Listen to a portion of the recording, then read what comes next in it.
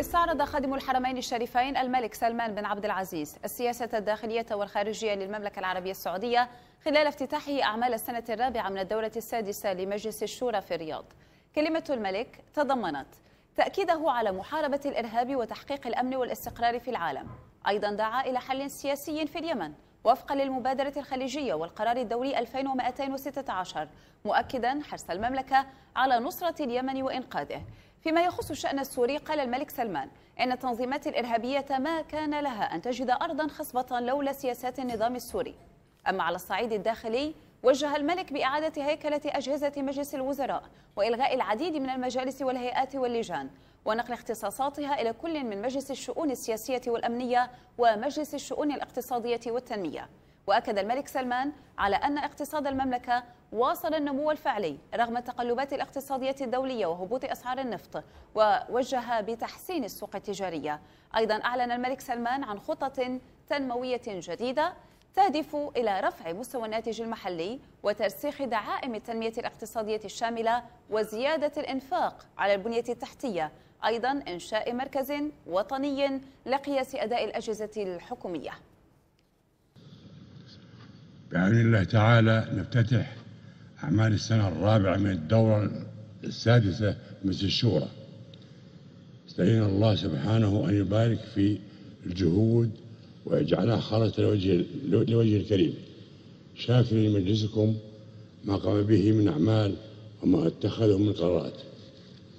لقد قامت دولتكم على كتاب الله وسنة رسوله صلى الله عليه وسلم وتشرفت بخدمة الحرمين الشريفين وقاصديها وشهدت من تأسيسها لحمة وطنية شهد بها الجميع واستمرت عاجلة على التطور. واستمرت عجلة التطور والنماء في وتيرة متصاعدة. رغم التقلبات الاقتصادية والدولية. أيها الإخوة والأخوات إدراك من حكومتكم أن الإنسان السعودي هو هدف التنمية الأول فقد واصلت اهتماماتها بقطاعات الصحة والتعليم والإسكان والتوظيف والنقل والاقتصاد. واستمرت المملكة في سياستها الخارجية على المبادئ الثابتة الملتزمة بالمواثيق الدولية. المدافع عن القضايا العربية والإسلامية. الرامي إلى محاربة الإرهاب وتحقيق الأمن والاستقرار. في الاستوديو ارحب بضيفي الخبير والمفكر الاعلامي الدكتور علي الشعيبي. دكتور علي مساء الخير. أهلا بك معنا. آه اذا من خلال آه كلمة الملك آه سلمان من جديد يدعو إلى حل سياسي في اليمن وأيضا يذكر بنصرة المملكة ومحاولة المملكة واستعدادها لإنقاذ اليمن من جديد. ما ملامح هذا الحل؟ وأين تتجلى من جديد قدرة المملكة على إنقاذ اليمن. بسم الله الرحمن الرحيم. طبعا يأتي الخطاب على أكثر من مستوى يتحدث عن المستوى الداخلي ومن ثم على المستوى الإقليمي القريب وما يتعلق باليمن ومن ثم العالم العربي ومن ثم العالم. فيما يتعلق بسؤالك على موضوع اليمن حقيقة عندما دخلت المملكة العربية السعودية هذه المعركة وهي معركة مصير وكما أؤكد دائما هي معركة وجود. يبقى اليمن عمقا عربيا استراتيجيا مهما ليس للمملكة وإنما لكل دول الخليج. ولهذا هناك ثقل عربي خليجي موجود في اليمن في محاولة لإنقاذ اليمن من براثن هذه العصابة التي حاولت أن تستولي على هذا الوطن بأكمله. لهذا نرى خطاب جلالة الملك يصر تماما على مسارين أساسيين المسار السياسي ومن ثم المسار العسكري. ونحن شاهدنا في جنيف كيف أن المسار السياسي بدأ متخبطا بدأ غير قادر على الوصول إلى حل. يبقى الآن الحقيقة المؤكدة هي أن المسار العسكري هو المسار الحاسم لهذه المعركة وهي معركة الفصل كما أقول وهي معركة وجود بالنسبة لدول الخليج. طيب نبقى على الصعيد الدولي في خطاب الملك والكلمة التي ألقاها أيضا. من جديد دعا إلى محاربة الإرهاب وأظهر قدرة المملكة على الاستمرار في هذه الحرب التي كانت المملكة سباقة طبعا من أيام القاعدة بجهودها الآن في ظل داعش لفت أيضا الملك سلمان إلى أن التنظيمات الإرهابية كان لها دعم واضح من النظام السوري أو ربما لم وجدت هذه الأرض الخصبة بسبب النظام السوري. ما تعليقك؟ موضوع الإرهاب موضوع طبعا اصبح لم يعد موضوعا داخليا هو موضوع عالمي موضوع دولي. هذا الإرهاب بدأ يضرب في كل مكان ليس في الجزيرة العربية وليس في الوطن العربي ولكن وصل إلى فرنسا وصل إلى بريطانيا وصل إلى ألمانيا وصل إلى الولايات المتحدة الأمريكية. لهذا محاربة الإرهاب هي عملية منوطة بكل دول العالم. إن لم نستطع أن نضع تكتلا عربيا إسلاميا عالميا في محاربة هذه الآفة. سوف طبعا تنالنا شظاياها الحارقة من كل جانب. المملكة العربية السعودية وهي تقود عاصفة حزم المملكة العربية السعودية قبل أسبوع تقريبا قدمت مبادرة لإنشاء جيش إسلامي. المملكة العربية السعودية تقود تكتلا عالميا لمحاربة الإرهاب. لأن الإرهاب ضرب في صميم المملكة ضرب في قلب الوطن العربي وضرب في كل الدول. لهذا محاربة الإرهاب, الإرهاب تبقى عملية أساسية من أجل الوصول إلى سلام يحقق الأمن والأمان هذه المنطقة.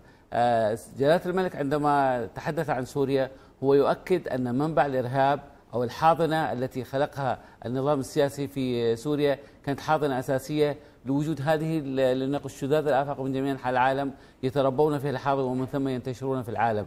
لهذا جلالة الملك يؤكد تأكيدا واضحا جدا على أهمية التعاون الدولي تحت تحت أي مظلة كانت أنا هنا لا أشير إلى المظلة الدولية وإنما أشير إلى تعاون دولي تحت المظلة الإسلامية تحت المظلة العربية تحت كل هذه المظلات.